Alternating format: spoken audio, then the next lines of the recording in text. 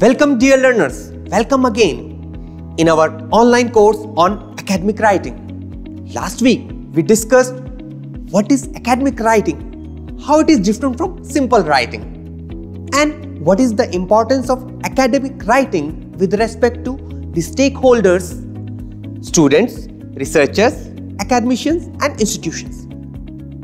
And then we discussed about the very basic rules of academic writing. Now, what next? Dear learners, in this module, we will discuss English as a language in academic writing. Do you know? Non compliance with the standards and conventions in academic writing results in rejections of many manuscripts. So, we are going to deal with this aspect in this module. Now, what is the learning outcome?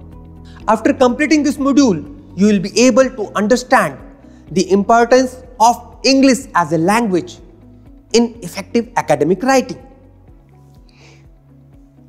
You will be able to understand to, and to solve the problems faced by non-native speakers in academic writing and to effectively use the most common practices and the most common elements for effective academic writing. Dear learners, don't worry, we are not here to teach English grammar. Rather, we will be focusing on the most common practices in effective academic writing in English. So, what is the plan? We will go with this plan. We will be focusing first the importance of English in academic writing. Basic rules of effective English in academic writing problems and solutions of non-native speakers, precise use of subjects, verb and adjectives, active voice and passive voice, judicious use of articles, and proper use of punctuations. Now, we will begin this module with the focus on the importance of English in academic writing. So why English? Let's focus on that particular thing. English is a foreign language, English is an international language, English is a global language. So, as most of the journals are in English, it is crucial for every researcher or every academician to learn effective writing. We need English for exchange of ideas. English is needed to communicate and exchange your ideas with the international experts. It's different. It's different in academic writing. Using English in academic writing is different. Why? The use of English for scientific writing, for academic writing is somewhat different from that of any other kind of communication. The main challenge in academic writing is to write complex things in the most simple way and the most clear way. You will have to inculcate the simplicity. You will have to simplify the things with the utmost clarity in the academic writing. For effective communication, you must have a good command on the language for scientific communication, for academic communications. For better understanding, effective use of language is required for better understanding and clarity of the topic being addressed. Now, let us focus on the basic rules of English in academic writing. What should we do when we are writing in English for the academics? First thing, be simple. Simplicity is the key. Keep it simple. Keep it clear, non-ambiguous. Keep it short concise, keep it reader friendly, and do not try to impress by ornamental English. Just communicate for better understanding. I would like to highlight this quote. Readers of scientific papers do not read them to assess them. They read them to learn from them. What is needed is more simplicity not more sophistication. aim to inform, not to impress. Yes, dear learners, this is the key. We need not to impress the readers. What is required? We need to communicate our idea. We need to inform in very effective way. And simplicity is the key. Do not use passive voice unnecessarily. Until unless it is required, until unless passive voice is more comfortable and common than that of active voice, do not use it. Do not use much Latin words like modus operandi, prima facie, etc. Some readers, rather I would like to say that some authors are very fascinated with these words. But please, they are okay in casual speaking or casual communication, but not in academic writing. Don't use them until unless they are utmost essential. Avoid using and, at the rate, ASAP like abbreviation or other slangs. Avoid punctuation errors. You know, even a missing comma can alter the meaning of a sentence. Use the articles judiciously.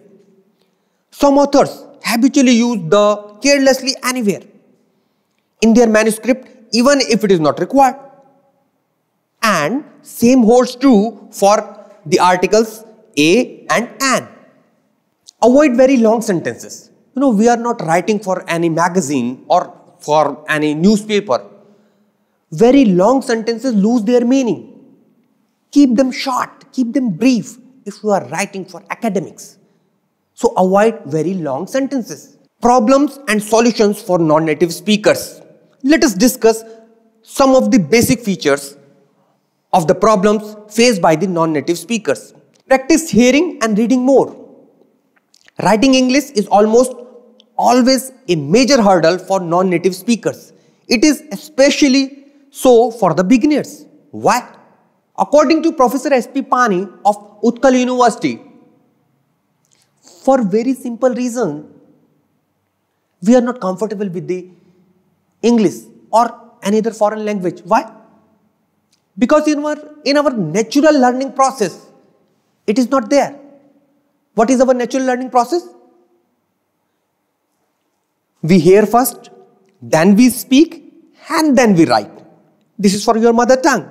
But for a foreign language, the trend is opposite from our natural learning process. We write first, then we speak, and then we hear. So the problem lies here. This is the problem. And that's why it is not going to be very much comfortable. But practice makes a man perfect. Another quote by J.K. Rowling. What the J.K. Rowling said. The most important thing is to read as much as you can, like I did. It will give you an understanding of what makes good writing and it will enlarge your vocabulary. Even the J.K. Rowling needs the enrichment of vocabulary. So the non-native speakers must focus on this aspect. So what to do? What is the key message? Practice to hear and read more. It will enrich your vocabulary and improve your understanding about the foreign language. Moreover, you will recognize errors yourself if you read your own writing loudly. This is the key. Read it aloud. You will come to know about your mistake by yourself. Now, what is the next point? You need to be formal. Be formal.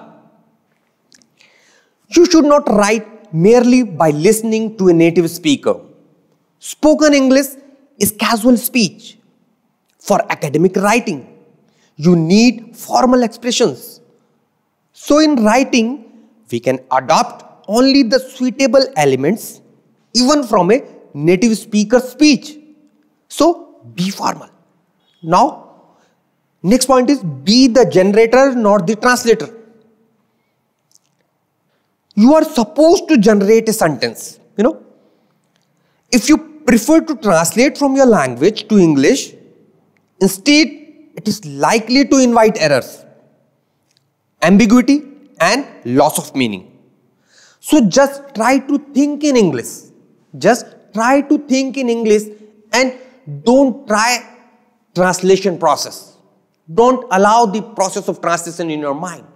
Be reader friendly. Adopt the reader first policy. Always remember we are writing for the readers. Clarity, unambiguity and simplicity are the keys of reader friendliness. Dear learners, nobody enjoys reading an unclear text. Moreover, no one wants the interpretive burden. So, your writing must be ready to be grasped in one single reading. So, academic writing must be clear from the first reading itself. Now, for non-native speakers, however, it looks very simple, but either use British or American English when you are writing it. When you are speaking, we don't bother about that, what you have written, either you have written color or color. But non-native speakers merely focus on the correctness of language. They do not subscribe to any one variety of English. You may use British or American English, being a non-native, color, color, spelling may change in American and British English. However, you must choose one. Please remember this thing, otherwise it would be confusing for readers and reviewers. So dear learners, so far we focused on the importance of English in academic writing, why it is required, what are the basic rules of writing in English for academics, and what are the problems faced by the non-native speakers and what are the solutions. Now, in our next lecture, we'll be focusing on the subjects, verb, adjectives, what are the effective use strategies, and active voice and passive voice.